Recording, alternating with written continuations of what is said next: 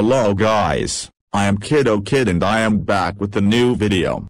In this video I am going to show you how to edit map and add events in Pokemon GBA games and also stay tuned by subscribing my channel as I am going to give more such content in future, so without any further ado let's get started.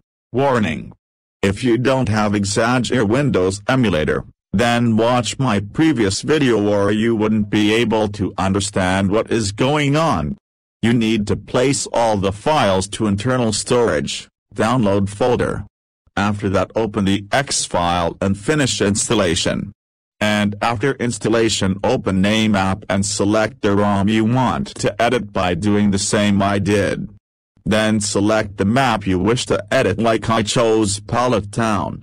You can any choose tile from the tiles and right of the town's map and tape on any tile to replace it with a chosen tile. On the three menus, on the top select the second one to change movement permission like 1 adds permission to move anywhere and C adds permission to block. The third one adds and creates events like warp, person events and more like I add and warp to Pokemon League. If you wonder how I did it, I added one more warp event.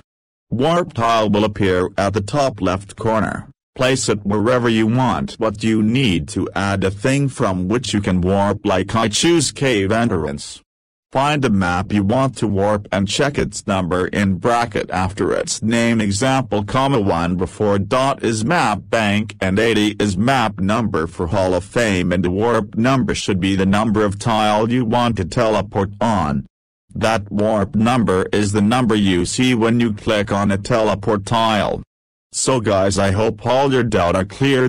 So that's all for this video. If you still have a doubt, ask me in comment, I will answer you within 24 hours.